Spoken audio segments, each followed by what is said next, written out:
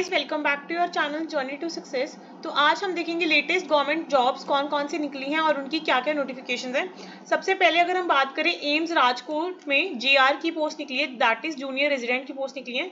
Total vacancies हैं 64 और post का नाम है जूनियर रेजिडेंट ठीक है? इसमें जो एप्लीकेशन की लास्ट एज है that is thirty three years और कई बार एज रिलैक्सेशन है as per the government rules और जो एम्स की राजकोट की पोस्ट है, इसकी टोटल जो फ़ीस है दैट इज़ जनरल कैटेगरी के लिए ईडब्ल्यू के लिए और ओबीसी के लिए है थाउज़ेंड रुपीज़ और एस और एसटी कैटेगरी के लिए है एट हंड्रेड रुपीज़ और पीडब्ल्यूबीडी कैटेगरी के लिए कोई भी फ़ीस नहीं है। अब सबसे इंपॉर्टेंट आ जाता है कोई भी पोस्ट की क्वालिफिकेशन सो so, इसके लिए जो बेसिक क्वालिफिकेशन चाहिए वो वो वाली कैंडिडेट्स होने चाहिए जिन्होंने अपनी एमबीबीएस डिग्री कंप्लीट की है या बीडीएस डिग्री कंप्लीट की है रेलिवेंट सब्जेक्ट में। और सिलेक्शन का प्रोसेस क्या रहने वाला है? इंटरव्यू के थ्रू आपका जो है सिलेक्शन वो होने वाला है। अगर आपको डिटेल इन्फॉर्मेशन चाहिए तो आप डिस्क्रिप्शन में इसका जो लिंक है वो चेक कर सकते हैं। नेक्स्ट जो हमारी वैकेंसी निकली है वो निकली है ईसीआईएल काफ़ी लोगों ने इसकी ऑर्गेनाइजेशन का नाम ही नहीं सुना होता। तो ये जो वैकेंसीज हैं ये आपके लिए बहुत अच्छी हैं क्योंकि इसमें जो कंपटीशन का लेवल है वो बहुत कम होने वाला है। सो so, इसकी जो वैकेंसी है इसकी ऑर्गेनाइजेशन की सबसे पहले हमें फुल फॉर्म पता होना चाहिए। That is electronics corporation of India limited और इसमें जो पोस्ट निकली है वो किस चीज़ की निकली है? टेक्निकल ऑफिसर की निकली है। ठीक है? तो टोटल वैकेंसीज हैं चार। पोस्ट का नाम है टेक्निकल ऑफिसर जो एज लिमिट है that is up to thirty years और रिलैक्सेशन भी है। तो जो जॉब के लिए क्वालिफिकेशन होनी चाहिए, वो या तो आपने बीई करी होनी चाहिए या बीटेक बीटेक करी होनी चाहिए।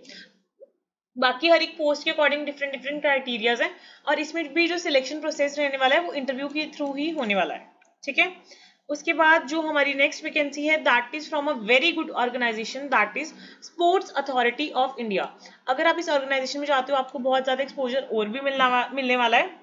तो इसमें जो पोस्ट है that is for the junior consultant junior consultant की पोस्ट है और इसमें टोटल पोस्ट है फिफ्टीन तो अगर ऐसी वैकेंसीज के बारे में आपको और जानना है, आप चैनल को सब्सक्राइब कर सकते हो और पोस्ट का नाम है जूनियर कंसल्टेंट एज लिमिट है अप टू 45 इयर्स और इसमें क्वालिफिकेशंस ना अलग अलग पोस्ट वाइज हैं. सो अगर आपने बीई करी है बीटेक करी है या मास्टर्स डिग्री करी है या किसी ने पोस्ट ग्रेजुएट डिग्रीज करी है, जो सब्जेक्ट्स हैं वो डिटेल नोटिफिकेशन में मैंशन है, उसके थ्रू आप अप्लाई कर सकते हो और सिलेक्शन प्रोसेस है, एक आपको स्किल टेस्ट देना पड़ेगा एंड एक आपको इंटरव्यू देना पड़ेगा. नेक्स्ट हमारी पोस्ट आ जाती है एम्स नागपुर की। तो यहाँ पे एमएस की पोस्ट है, ये बहुत ही अच्छी डेजिग्नेशन है और बहुत ही हाई पेइंग जॉब है। तो इसमें भी वैकेंसी सिर्फ़ एक ही है। मेडिकल सुपरिटेंडेंट की पोस्ट है एज लिमिट है अप टू 56 ईयर्स और इसमें या तो आपकी एमडी कंप्लीट होनी चाहिए या एमएस कंप्लीट होनी चाहिए, ठीक है? सिलेक्शन का प्रोसेस जो रहने वाला है, वो भी इंटरव्यू और टेस्ट के बेस पे रहने वाला है। नेक्स्ट हमारी last post of the day है दैट इज़ एम्स कल्याणी इसमें बहुत सारी पोस्टें निकली हैं, काफ़ी ज़्यादा पोस्ट निकली हैं. यहाँ पे डिटेल में मैंने मेंशन आउट करा हुआ है कौन कौन सी पोस्ट हैं. ग्रुप ए और ग्रुप बी की पोस्ट हैं और काफ़ी हाई लेवल आईएएस लेवल की जॉब्स हैं ये. ये सारी जॉब्स यहाँ पे मेंशन है नर्सिंग की है कंट्रोलर ऑफ़ एग्जामिनेशन की है एग्जीक्यूटिव इंजीनियर इंजीनियर्स की काफ़ी सारी पोस्ट है रजिस्ट्रार की है अकाउंट्स ऑफिसर की है store store officer accounts officer pharmacist मतलब काफ़ी सारी पोस्ट है लाइब्रेरियन की भी है इनफैक्ट और यूडीसी वगैरह की भी है।